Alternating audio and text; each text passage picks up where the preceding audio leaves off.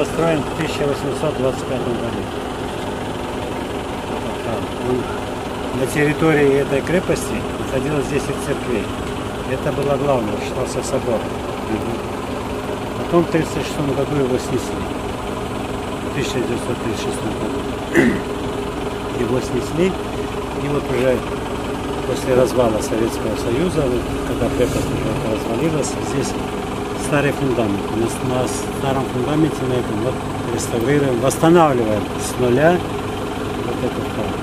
А когда примерно закончит все это? Значит, планировалось, в 2002 он уже освещен, в нем уже служба проходила.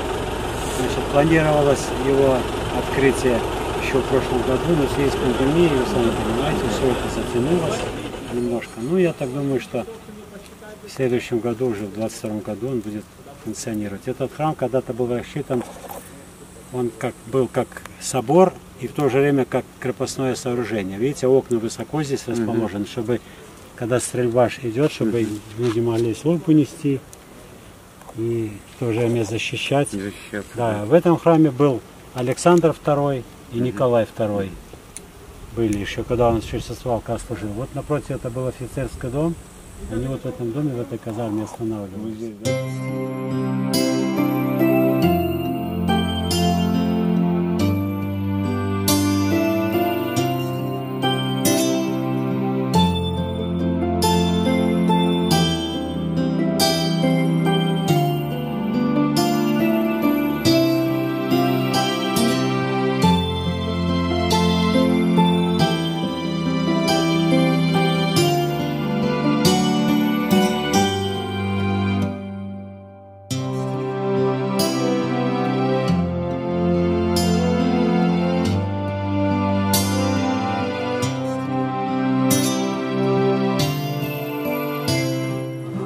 Все восстанавливается.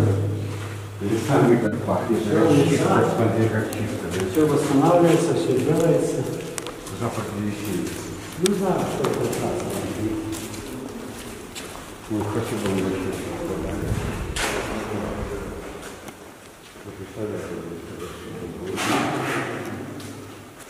Когда вот, вот здесь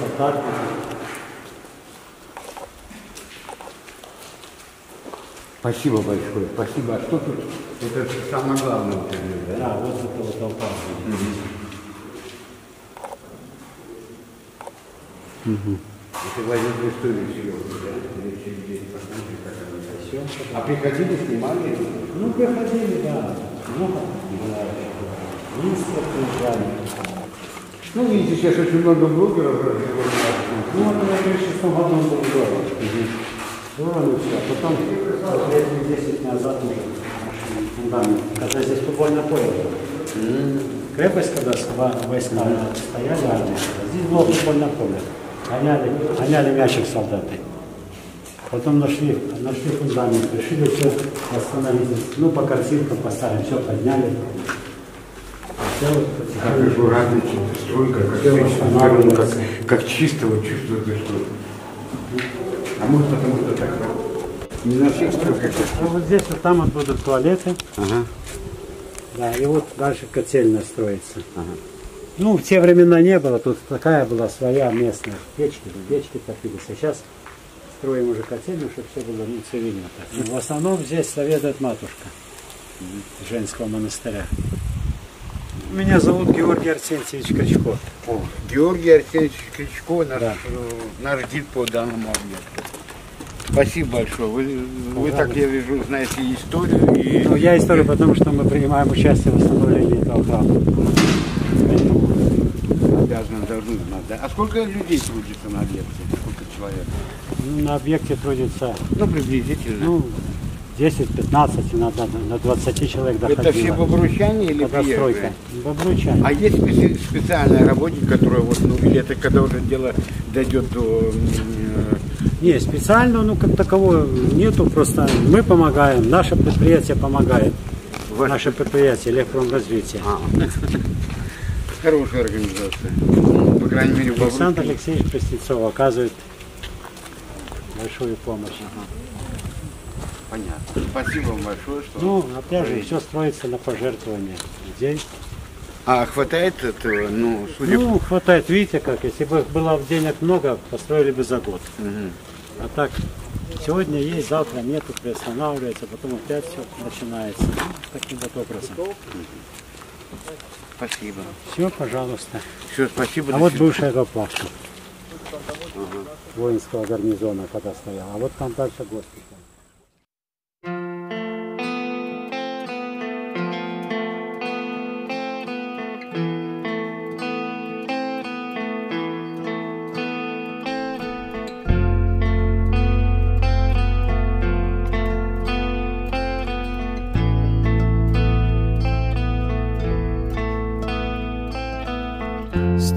Церквушки по Руси, забытые, забитые.